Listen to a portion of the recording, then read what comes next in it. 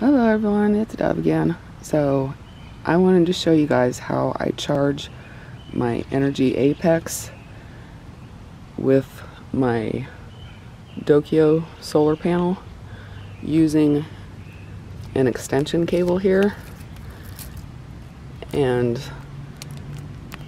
it can it can be pretty complicated so just bear with me while I try to walk you through it. This is the connection that the cable that I have for my, my particular power station. Each one has its different input connector.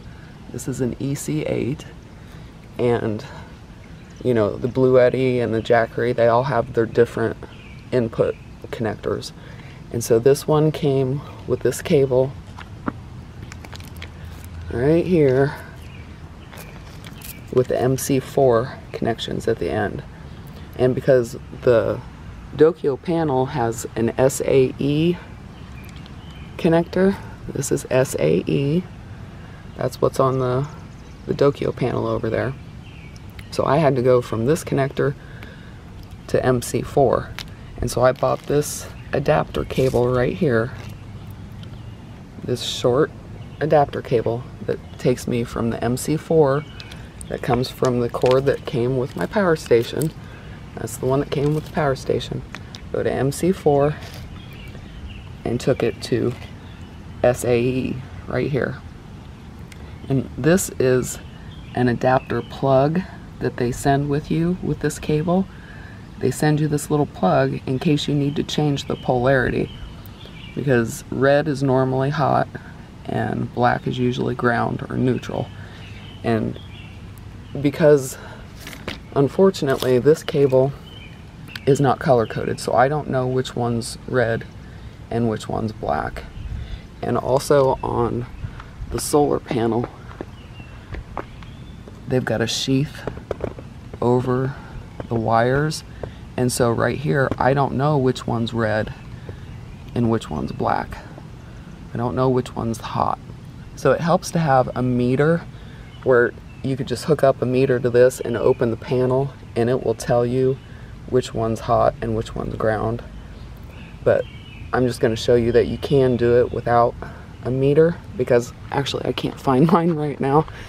And uh, so on for my particular solar panel, you know, other solar panels may be different, but for the for the Dokio, and for this extension that I got, I did have to use, I do have to use that little plug there. And they send it with you. Well, it's, it's in there pretty good, but you can probably see that little piece right there. That's the adapter plug. And so if I just wanted to run it like that, I would just plug that right into the solar panel and it charges. But because this is not very long for a cable, I actually don't really ever want to take that out of my rig. It's pretty much always just going to live in my rig.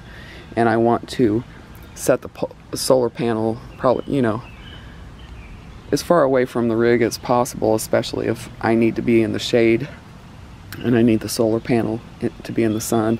So I've got this 10 foot extension that I bought.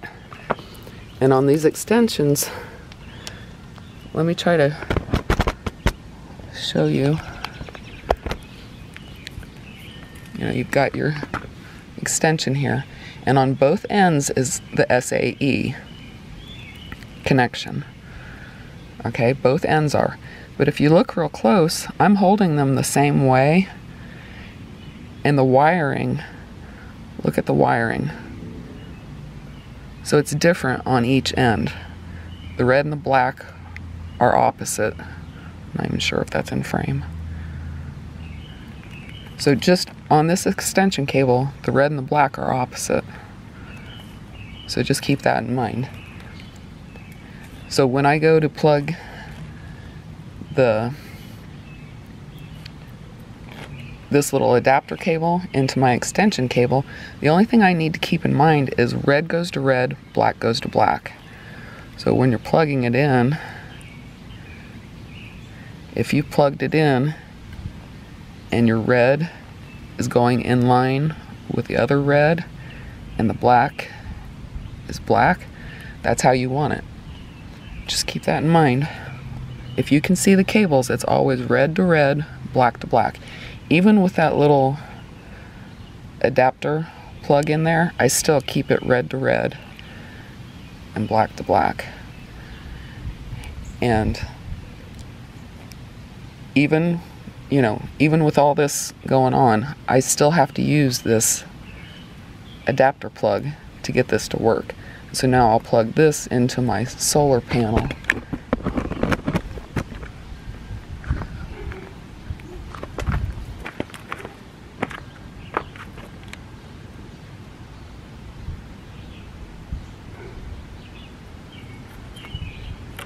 Open it up.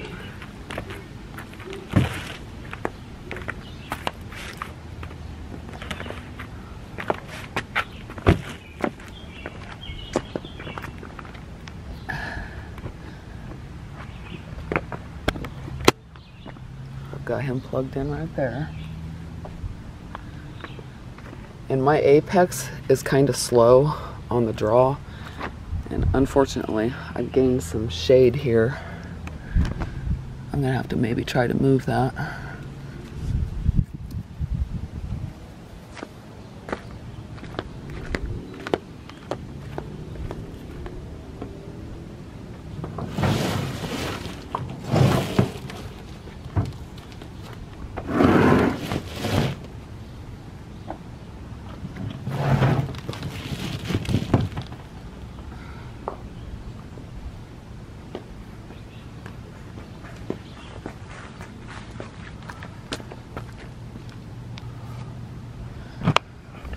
Okay. Yeah, it's just a little slow to register on this guy. He's kind of a dinosaur. Not like a Bluetti or a Jackery. But you can see, hopefully, it says CHG charging 105 watts, which is not very good for a 300 watt panel. But it's kind of like hazy today. I don't know. And I'm sure I don't have the angle right. But I am getting a charge. None of these panels are going to draw in as much power as they say. So this 300 watt panel, it will never draw in 300 watts. It, it just doesn't. And that's with every single different solar panel, whatever their rating is, it's normally that's not what you are getting in. And then because I had to have an adapter cable, so I'm I'm already breaking the power line right there. So I've already made it worse by adding an adapter. And now with this extension cable, I'm getting even more loss. And so that's kind of my fault that I'm only getting 106 watts because I put this extension cable in. So that's just kind of what I have to deal with. I have to deal with that power loss if I want to have this you know, further away from my rig. If I have it just outside of my door, I might be able to get away with just the adapter cable with with this one. But more than likely I'm going to want it farther out and so I'm probably always going to use this extension cable.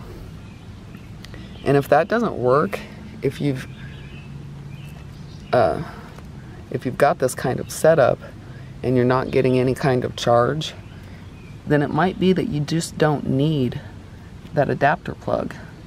And if that's the case, you would take that out and you would use the other end of this cable. So you'd take that end and bring it over here and plug it in because no matter what, you have to keep red to red. So no matter what, and because this extension cable has both you know, on each end, that's possible to do. Just turn the cable around and make sure that you're going red to red, black to black. Just take out that middle extension and then plug the other end into your solar panel, then open your solar panel up and see if it's getting charged that way. That's pretty way, pretty much the only way I can tell you how to use these. adapter cables and the plugs and everything without a multimeter because it's just it's kind of a guessing game it's just playing with it. You don't need an extra adapter plug to make this extension cable work. If it's not working with that little adapter plug in there just take it out. Just take that out of the equation. You don't need another one. You might just not need that one. So it's either you do need this or you don't. You should not need another one of these little adapter plugs to make this whole setup work. You only need that one. And if that doesn't work, take it out. Flip your wire around and then check it and see if, it's working that way. Okay? I hope that's helpful.